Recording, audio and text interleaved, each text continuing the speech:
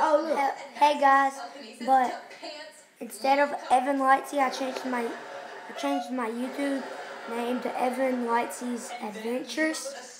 So next time you try and watch my YouTube videos, do Evan Lightsey Ad, Evan Lightsey's Adventures. Say hey, Trayvon. Okay. Alright. So next time you look next time you look me up, Evan Lightsey Adventures. Okay. Bye. Oh, I messed this up.